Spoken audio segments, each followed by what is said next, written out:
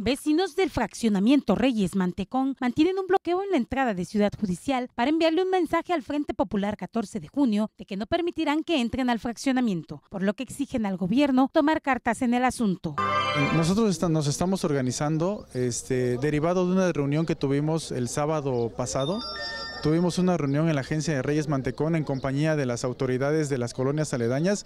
Estuvo San Martín Tilcajete, estuvo Santa Ana Segache, estuvo eh, la agencia de Reyes Mantecón, estuvo la agencia de Vicente Guerrero y estuvo la colonia El Manantial de esta zona.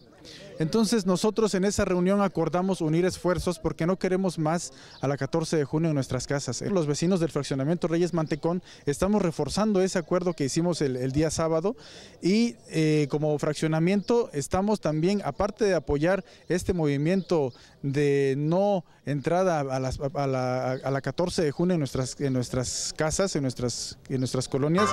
Desde las 6 de la tarde de lunes, los vecinos de este lugar montaron guardia en los seis accesos del lugar y los bloquearon luego del conflicto que se originó en la agencia municipal Vicente Guerrero con los integrantes del FP 14 de junio y que dejó alrededor de 250 a 300 familias desplazadas que se decían buscaban cobijo en las casas abandonadas de este lugar.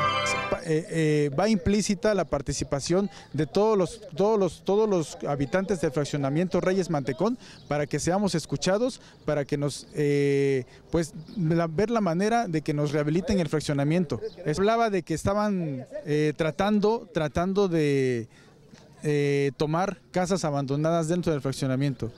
Para esto nosotros hemos implementado algunos recorridos con los mismos vecinos sin el apoyo de la policía estatal.